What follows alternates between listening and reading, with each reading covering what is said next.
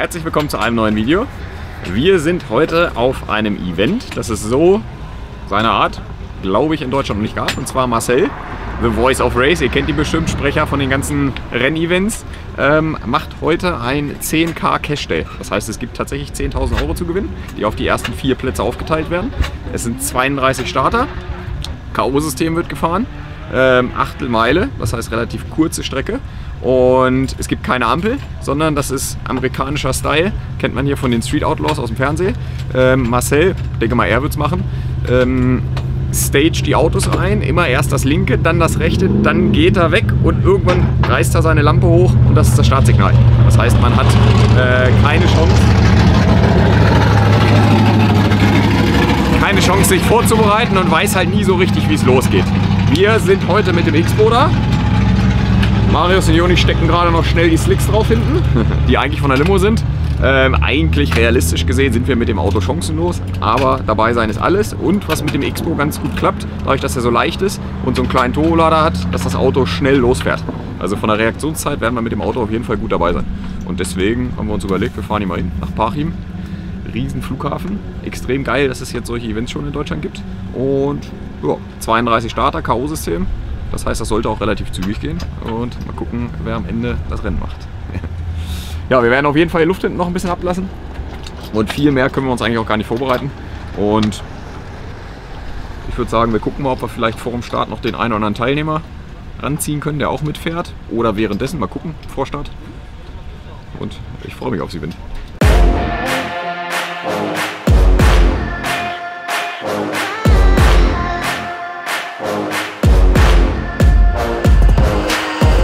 Also das Problem ist, wir sind doch keine 32 Starter, sondern nur 18. Ähm, Marcel und Individualtuning haben aber den Pod trotzdem voll gemacht. Also es gibt das gleiche Geld zu gewinnen, obwohl es nur 18 Starter sind. Jetzt ist natürlich bei 18 K.O.-Systemen schwierig. Äh, jetzt haben sie sich aber gerade ein Konstrukt überlegt, wie wir trotz nur 18 Starter es am Ende aufteilen können, weil theoretisch 18, 9, 9 durch 2 geht nicht. Ähm, deswegen gibt es jetzt noch eine neue Methode.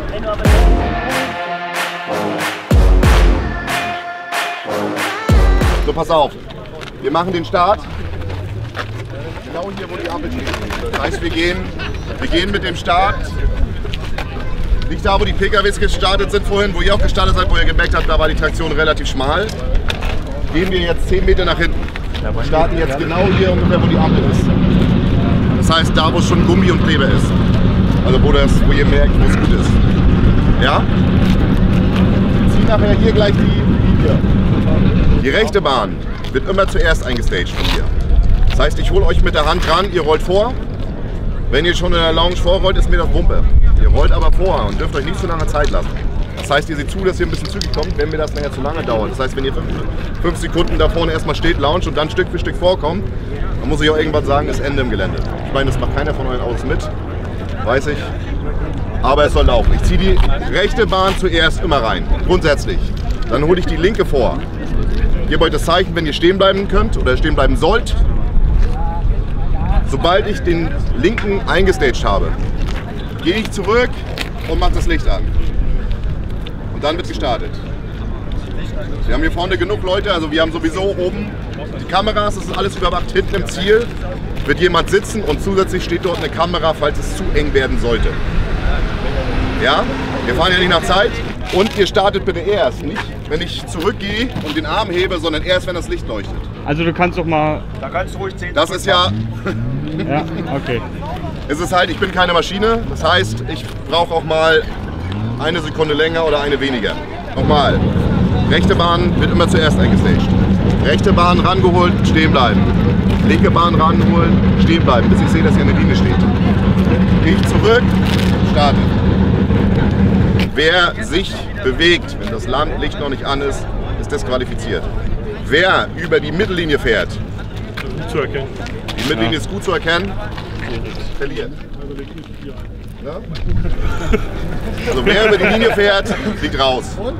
Wenn wir in der zweiten Runde sind, kommt ihr alle wieder nach vorne. Wir losen die nächsten Paarungen wieder raus. Das heißt, wir fahren hier kein Sportsman. Ja, wir fahren hier kein Reglement runter machen das wie auf der Straße. Ja, ich werde grundsätzlich sowieso mit der Hand immer anzeigen. Ich bin mit Funk verbunden. welche Bahn gewonnen hat. Ich gebe euch eine halbe Stunde, fünf vor halb sechs. Fünf vor halb sechs möchte ich die erste Paarung stehen haben.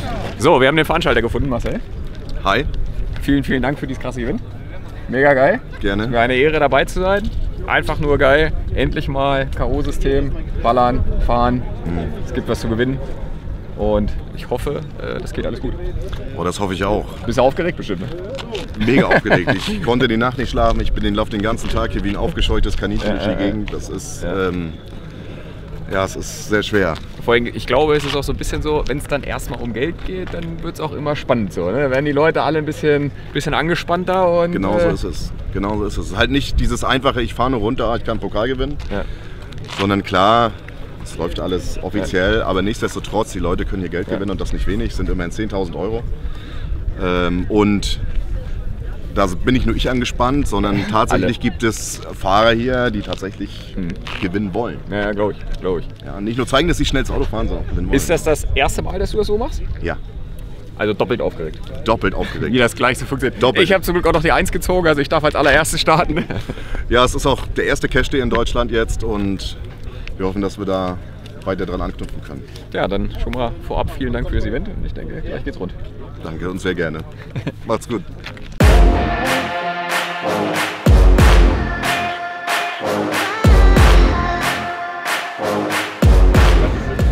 So, wir haben unseren ersten Gegner hier gefunden. Für heute. Wir haben ja die Ehre, gegeneinander zu fahren. Wahrscheinlich relativ chancenlos, weil, äh, Das glaube ich nicht. doch wie ich gerade gehört habe, saftige 1000 PS mehr einfach. Ah, okay. Aber wahrscheinlich auch viel schwerer. 800 Kilo, ja. 800 Kilo wie das Ding nur nicht. Aber geht ja nur ums Fun heute, ne? Von daher. Ist Von daher. Wir schauen mal. Pass auf, auf jeden Fall haben wir, glaube ich, das einzige Auto hier mit einem Billetblock, ne? Ja. Im Starterfeld, ne? So, wenn du da unten einmal reinfilmst, siehst du diesen schönen gefrästen Block.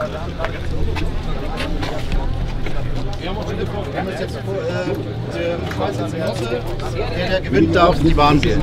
Rechts oder links. Hast du eine Münze? Er hat eine Münze. Wer möchte von euch Kopf oder Zahl sagen? Egal. Zahl. Kopf. Kopf. Philipp darf auswählen. Rechts.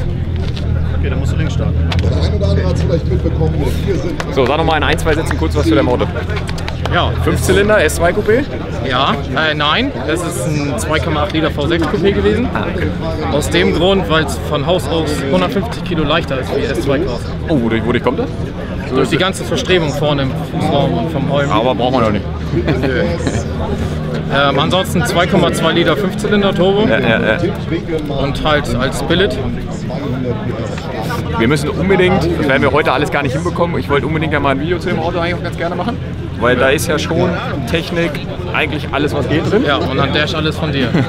So, Technik, alles was geht, Trockensumpf, alles gefräst, volles Programm. Bis auf Zylinderkopf. Der ist leider noch nicht fertig. Ja, aber trotzdem ist schon die Oberliga so. Ne? Und äh, nee, da müssen wir auf jeden Fall in Ruhe nochmal drauf eingehen. Ähm, wie startest du? Mit Launch, ohne Launch? Mit, Betriebsgeheimnis? Alles was geht. Okay. Ja, ich bin gespannt. Wir schauen. Witzig ist, ich natürlich offen werde wahrscheinlich gar nichts mehr hören in dem Moment, wenn ich in dem Auto drin Nee, du startest jetzt hier auch rechts und ich links, dann hast du auch noch den Auspuff auf deiner Seite. Volles Ballett, aber ich habe ja zum Glück einen Helm auf. Ne? Von daher wird das schon. Ja, ich denke auch. Was für eine Zeit bist du heute schon gefahren? Ähm, 10,3 mit 247 km/h Oh. auf Filmmeile. Ja, aber ich stehe am ersten Gang halt nur auf dem Fleck. Schauen. Also Traktion noch suchen. Ja, andere Reifen, ne? Wie lange hast du das Auto schon? Also fertig jetzt vier Wochen. Und das erste Event heute. Und dann auch noch als erster starten. Also Ja. alles richtig gemacht. Ja. Nein, cool. Äh, ich würde sagen, let's go. Wir lassen uns überraschen.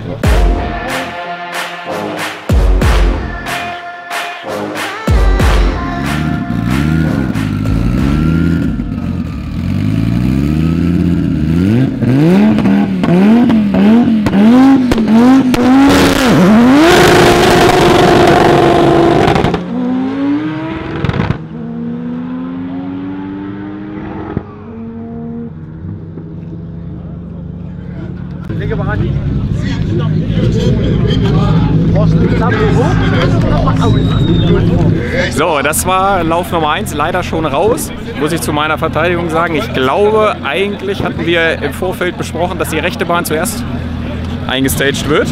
Deswegen habe ich auch die Rechte freiwillig ausgewählt. Ne? Wurde dann aber andersrum eingestaged, dass er schon mit der Launch die ganze Zeit stehen konnte, ne? weil ich hätte halt mit dem X-Pro nur diesen Vorteil gehabt, unten raus wegzukommen. War aber trotzdem geil. War glaube ich auch trotzdem noch recht knapp. Ne? Ja. Und das ist Motorsport. Ne?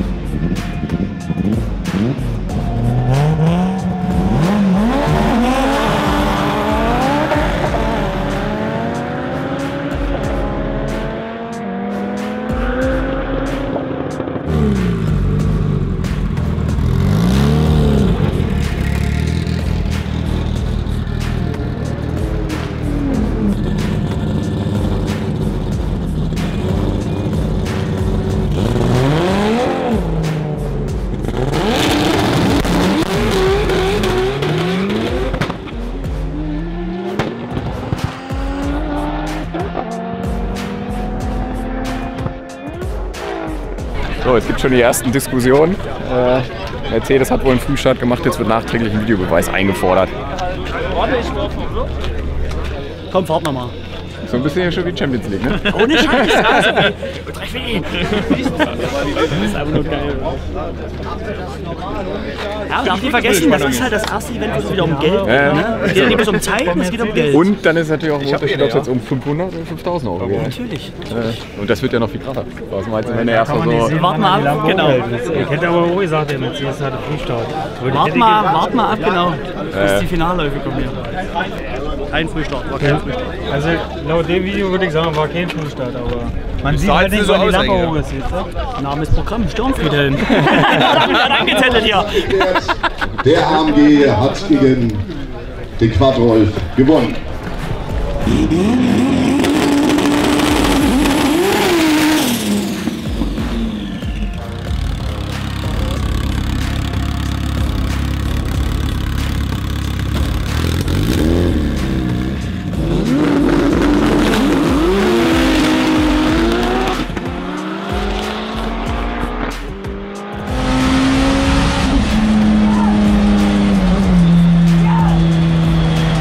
Wir den Sieger auf jeden Fall von eben gerade. Ich hoffe, die Aufnahmen sind was geworden. Kamera ist ja zum Glück dran geblieben, weil ich dachte, du hältst wieder bis ganz hinten auf. Nee, nee, war nur 8 Meile. So, aber alles geklappt. Also von außen hört sich extrem sauber, extrem geil an. Hat auch soweit von innen aus sauber alles gepasst. Man hat von außen richtig gesehen, wie du die ganze Zeit überlegt hast, fange ich jetzt an zu launchen und nicht. Warte, warte, warte, warte, warte. Wenig Hubraum, ich muss halt mit Rätsel, dass der Lader schon ein bisschen da ist. Ja, ja. Diesen Lauf wird es anders aussehen, jetzt muss ich rechts starten. Aber Gut. wir Gut, hoffen gut. das Beste. Ja. Wie, wie sah es hinten im Ziel aus? War schon ein Ich hab- Vorsprung, ne? Ich habe keinen Gegner nirgends gesehen. Ja, ja. Also ich hätte auch gesagt, es waren locker 30, 40, 50 Meter. Ja, Gott sei Dank. Ja. Kurz zum Auto, Golf 2, 16V, 1,8er, 2 Liter? Zwei Liter, 2 Liter Leistung ungefähr. 900. 900, aber das krasse ist auf Sprit. 102 Oktan, ja. Und ohne Wassermethanol, ohne alles. Einfach nur Tankstellen, Sprit. Wir waren vorher noch tanken. Auf Achse noch hergefahren bin. Ja, das wäre mir am liebsten, ja.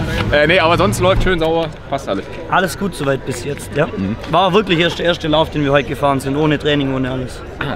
Ich habe nur was probiert mit Schiffkart, das hat nicht funktioniert. Dann habe ich es wieder geschrieben, wie es war und fertig. Glückwunsch nochmal zur 8-7 in Zerbst. Vorletzte Vielen Woche. Ja, Warst du selber, glaube ich, ein bisschen, bisschen fassungslos kurz so ungefähr. Hast du auch nicht mitgerechnet, ne? gar nichts gecheckt. Wir hätten uns gefreut über eine 9.2 oder eine 9.3. Dass es eine 8.7 wird, hätte niemand gedacht. Aber ich, ich glaube, der Moment ist für, für so einen Fahrer, wenn man seit Ja- Monaten, Jahren so ein Auto baut, unbeschreiblich wahrscheinlich, ne? wenn Richtig, du dann ja. zurückkommst und da eine 8-7 steht. Es hat, ja, vor allem, ich hätte nie mit diesen Sprüngen mehr gerechnet in dieser Zeit, in dieser Zeit einfach bei 8 oder 9 Sekunden. Und dass dann doch nochmal 7 Zehntel hupft, ist krank. Ja. Ja, ich drücke auf jeden Fall weiterhin den Daumen heute. Vielen Dank.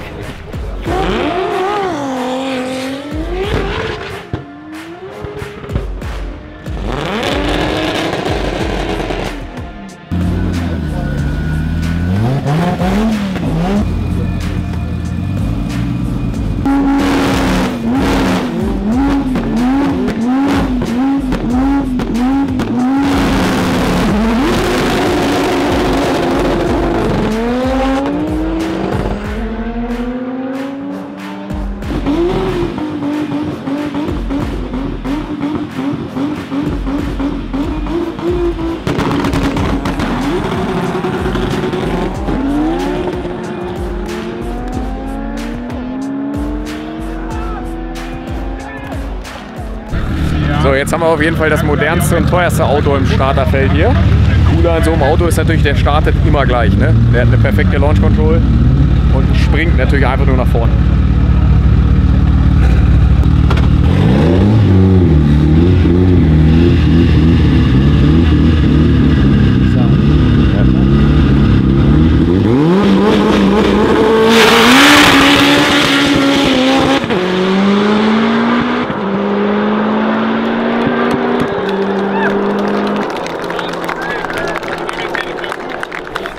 Ja, wie ich, vermutet hatte, Mercedes springt nach vorne, aber hat Julian tatsächlich oben raus noch mit Leistung wieder reingeholt.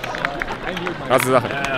So, das sind jetzt die Halbfinale schon. Das heißt, jeder, der jetzt gerade startet, hat schon 1000 Euro sicher. Die beiden Verlierer fahren den Platz um drei nicht aus. Die sind dann quasi raus, weil dritte und vierte Platz kriegt eh 1000 Euro fertig. So, das heißt, jetzt geht es um die Wurst.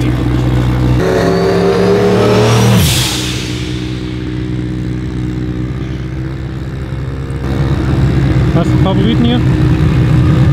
Also der oben raus ist der Golf viel, viel, viel schneller. Das heißt, wenn der Start ein bisschen schlechter ist, kann der Golf schon wieder aufholen. Aber das ist halt hier V8 Heckantrieb. Die sind vom Start her eigentlich ziemlich zuverlässig, sage ich einfach mal. Ne? Also ich würde tendenziell sagen, äh, der Ami.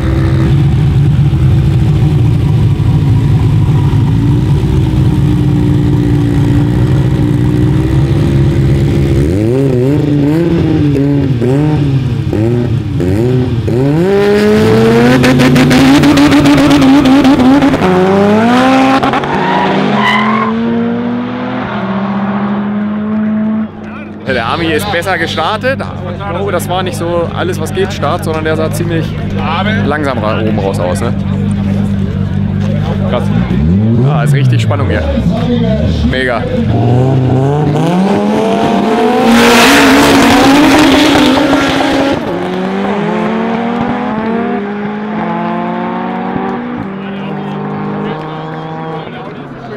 So, das war Sieg für Julian mit offener Heckklappe. Die ist glatt beim Start aufgesprungen. Aber muss man sagen, startet echt sauber das Ding Lauf für Lauf. Ja, das war das Halbfinale. Ähm, Finale äh, Julian gegen den Golf 1.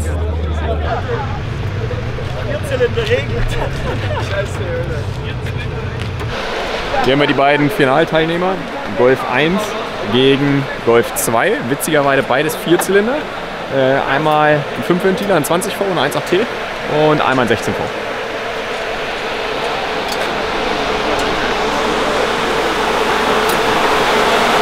Ja, da hat sich auf jeden Fall einer mit Titan ausgelassen.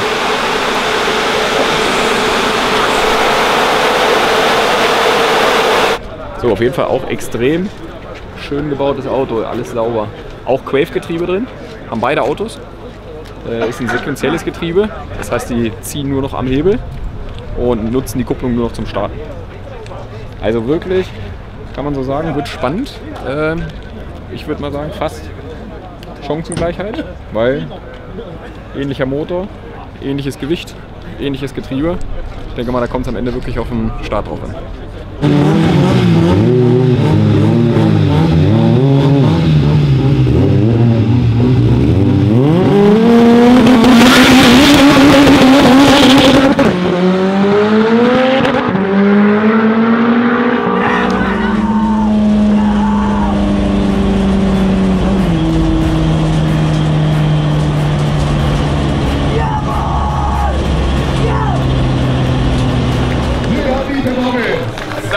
So, Finale. Julian gewonnen. Glückwunsch unsererseits. Golf 2 Power, vier Zylinder. War am Ende der schnellste.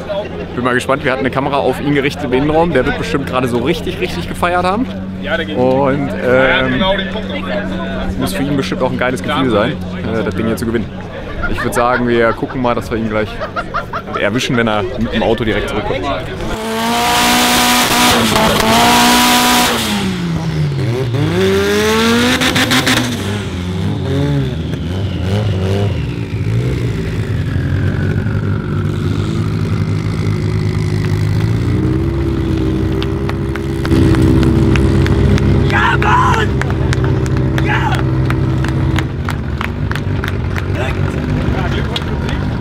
Hast du gut gemacht. Ich hab schon gesagt, Danke. du wirst sie wahrscheinlich so richtig gefeiert haben. Werden, Ja, das ist krank. So, das war der erste 10K Cash Day. Äh, passend zum Sonnenuntergang. Ist für heute Feierabend. Wir haben den Sieger ausgefahren. Ein paar Jungs gehen jetzt mit ein paar Euros in der Tasche mehr nach Hause. Und ich würde sagen, hammergeiles Event. Nächstes Jahr absolute Pflichtveranstaltung. Ich bin gespannt, was daraus wird und freue mich aufs nächste Jahr. Sieger der ersten Caches hier in Deutschland. Julian